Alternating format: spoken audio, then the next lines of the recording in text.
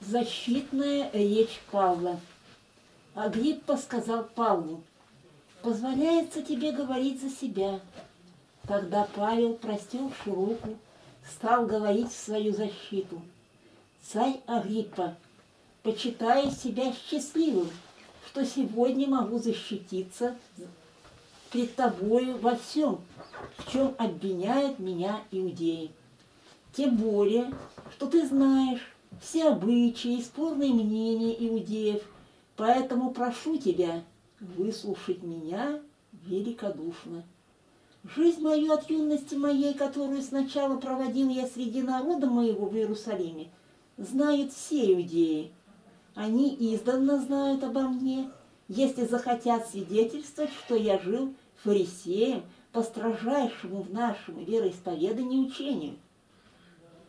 И ныне я стою пред судом за надежду на обетование, данное от Богом нашим отцам, которого исполнение надеются увидеть наши двенадцать колен, усердно служа Богу день и ночь. За эту-то надежду царь Агриппа обвиняет меня, иудеи. Что же, неужели вы невероятным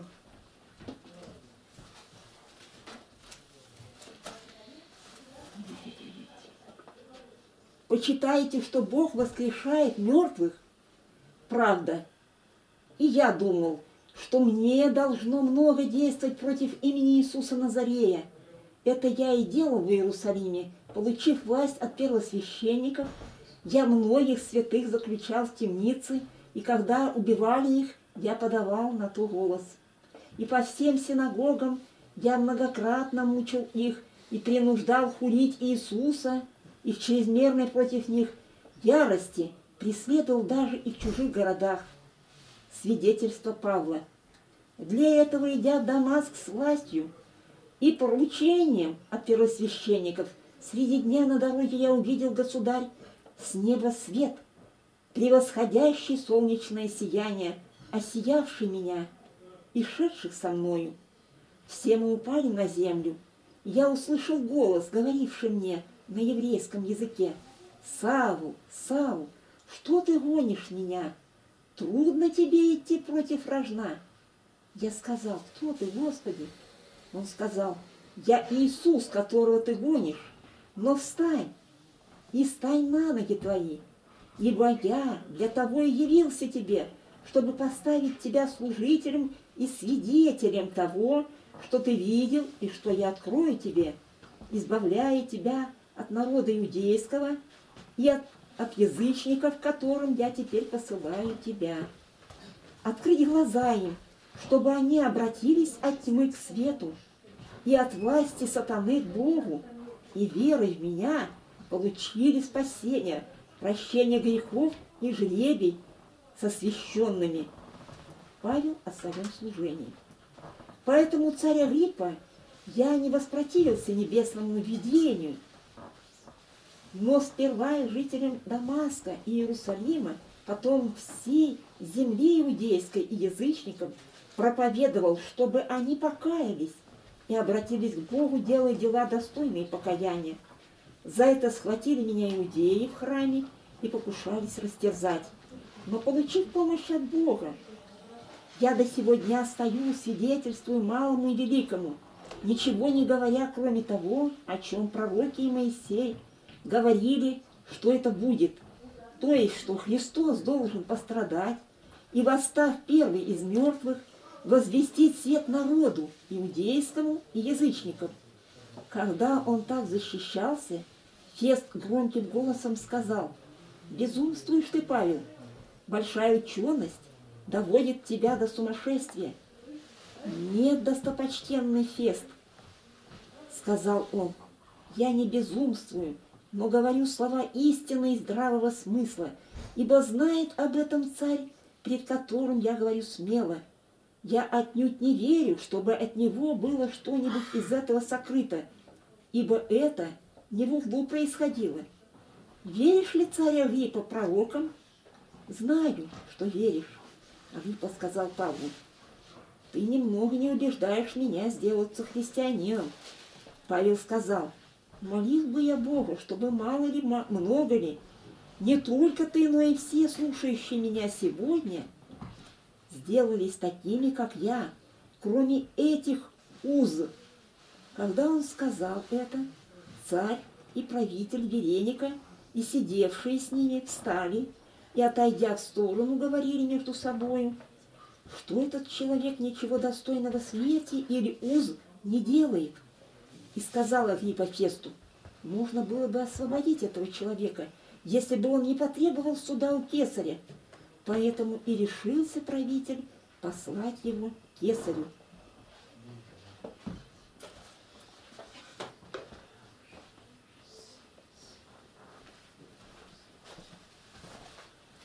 Когда решено было плыть нам в Италию, то отдали Павла и некоторых других узников сотнику полка Августа по имени Юлий.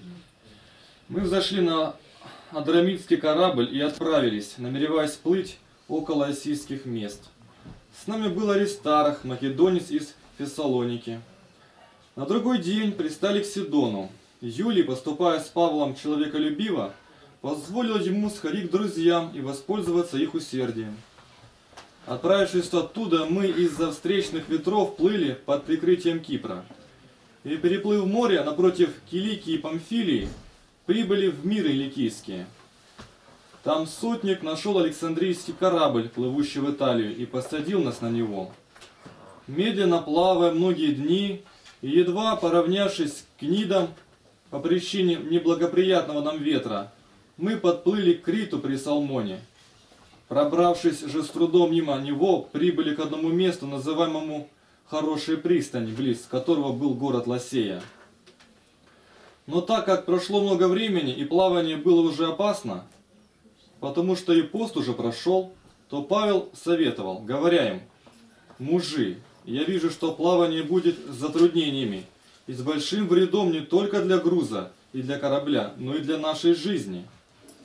Но сотник более доверял кормчему и начальнику корабля, нежели словам Павла. А как пристань не была приспособлена к зимовке, то многие давали совет отправиться оттуда, чтобы, если возможно, дойти до Финика, пристани Критской, открытой юго-западному и северо-западному ветрам, и там перезимовать. Подул южный ветер, и они, подумав, что уже получили желаемое, отправились держаться берега вдоль Крита. Но вскоре с острова поднялся ураганный ветер, называемый Эвраклидон.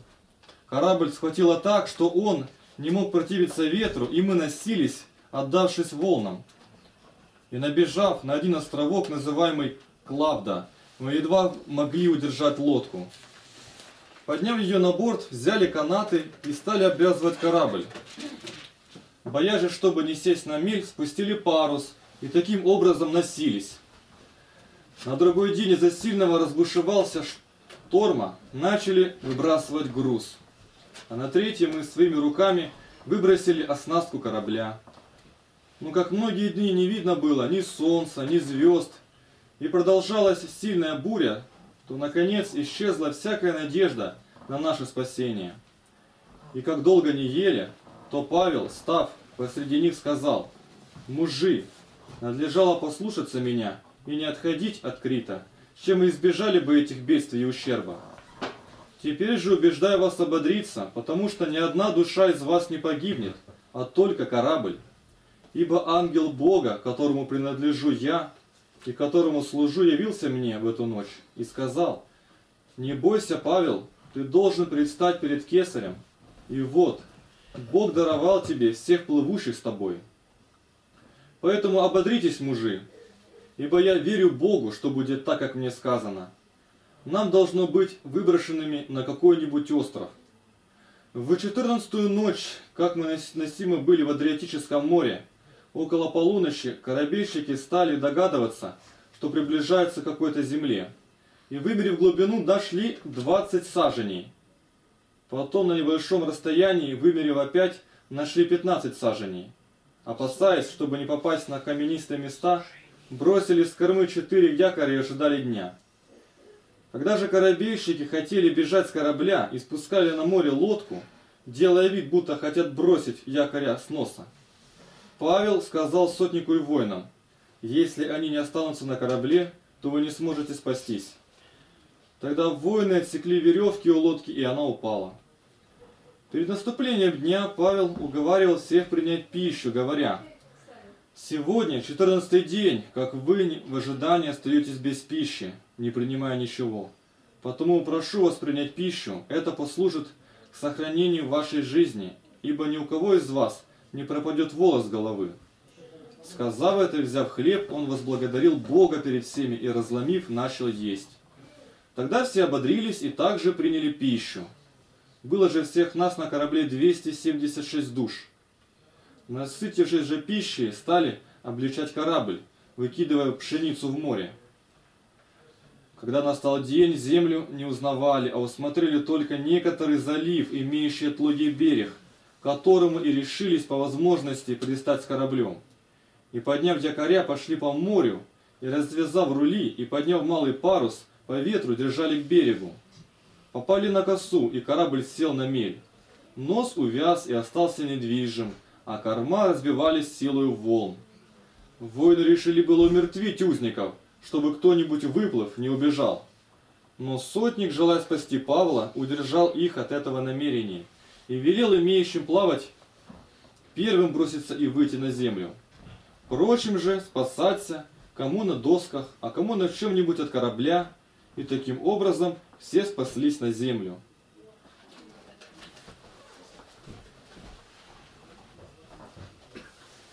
Спасшие же, бывшие с Павлом, узнали, что остров называется Мелит.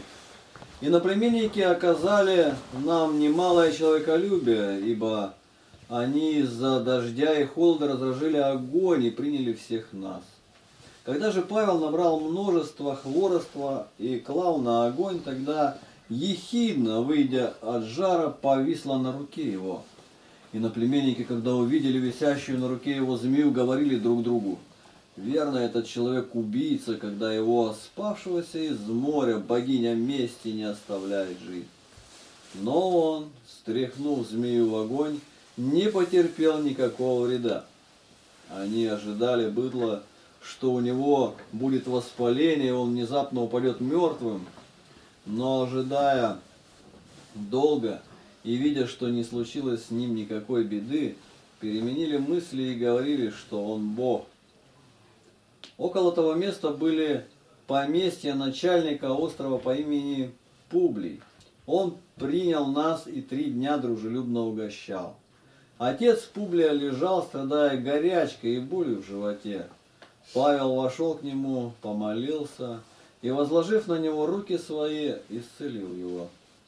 После этого события и прочие на острове имевшие болезни приходили и были исцеляемы, и оказывали нам множество почестей, и при отъезде снабдили нужным.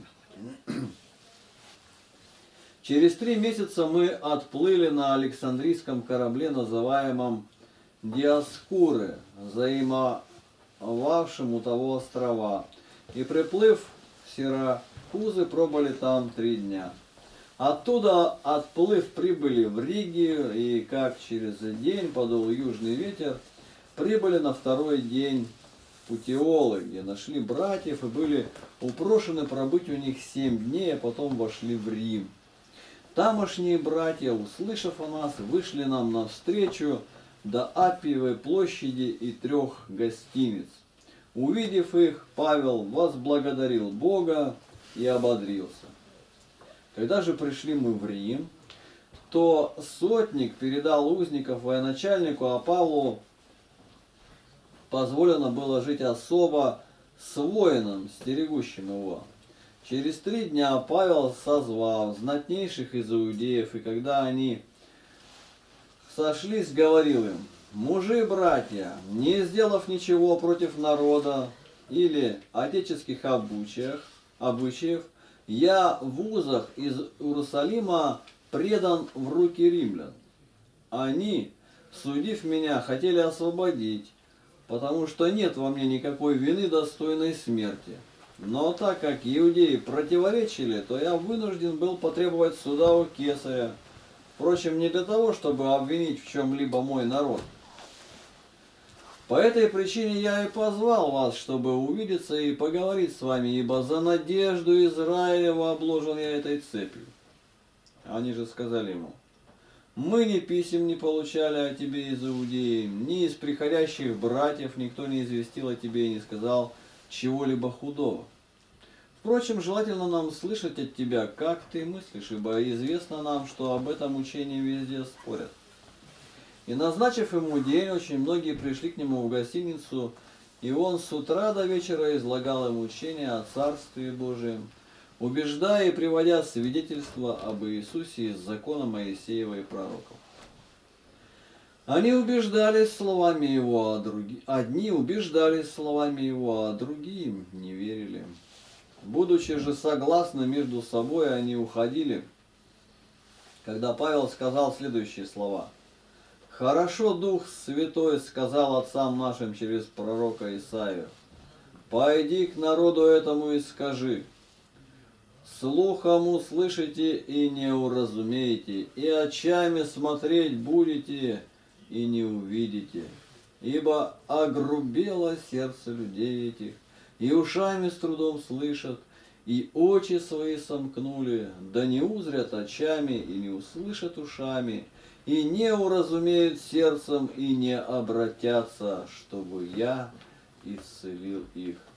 Итак, да будет вам известно, что, за, что спасение Божие послано язычникам, они и услышат. Когда он сказал это, Иудеи много споря между собой. А когда он сказал это, иудеи ушли, много споря между собой. И жил Павел целых два года на своем иждивении и принимал всех приходивших к нему, проповедуя Царство Божие и уча о Господе Иисусе Христе со всяким дерзновением беспрепятственно.